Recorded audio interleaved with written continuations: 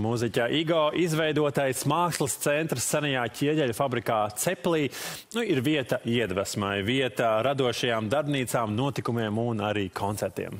Jā, un tieši Cepļa ceturtdienas ir koncertu laiks, un šajā rītā pie mums viesos pats Igo. Labrīt! Labrīt! Labrīt! Labrīt, prieks satikties. Kas jauns Ceplī, kas jauns Cepļa pusē? Jūs jau visu pateicāt pāris vārdos. Es varu tikai detalizēt un izstāstīt to, ka Cepļa ceturtdienas tas ir jaunievedums.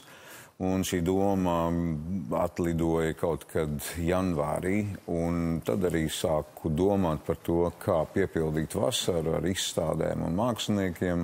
Un šobrīd mums plāns ir apstiprināts, un biļets jau ir pārdošanā līdz pat jūlija beigām. Tūlīt liksim arī augusta biļetes biļešu paradīzē. Tā kā, ja kādu interesē mūzika un māksla, tad Lieliski droši uz iespēja. cepli. Jā. Un katru ceturtdienu var redzēt vai nu jau izlikto izstādi, nu, piemēram, šovakar mēs atklāsim ā, tekstilu mākslinieku Jāņa Mankoviča tekstīlī izstādi, mm, un tāpat būs redzama divās sēkās, gan kaļķu dedzinātavā, gan bijušajā mm, krāsnes podiņu ražotnē, ko mēs saucam par upes māju, tātad pusseptiņos laipni gaidām uz izstādes atklāšanu.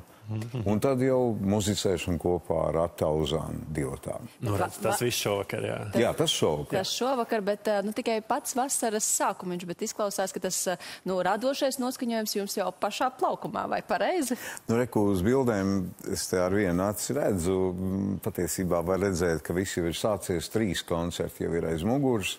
Pagājušo nedēļu muzicējām kopā ar Ainaru Virgu, um, pirms tam ar Ēriku Upenieku, un uh, iesākām visu šo notikumu sēriju kopā ar Katrīnu Dimantu un Rolandu Zelču. Kā šobrīd ir, ko tie klausītāji parasti saka, nu kas viņiem tajā cepļa aurā, tajā notikuma klāstā visvairāk patīk? Ko viņi atzīst?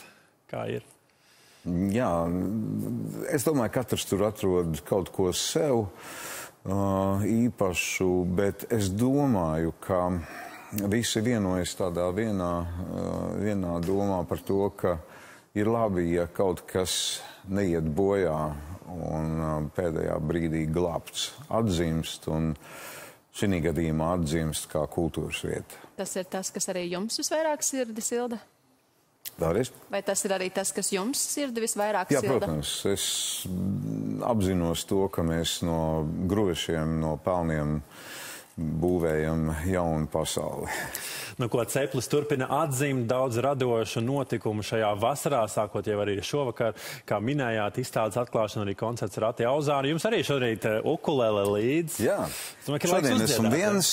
um, jā, šodien vakarā ar, ar Attību Auzānu, jau nākamnedēļ ar Dehobos ģitāristu Egonu Kronbergu, un tā uz priekšu, tad uh, saugriežu priekšvakarā Jā. būsim mazliet prāvākā pulciņām, bet tagad šāds.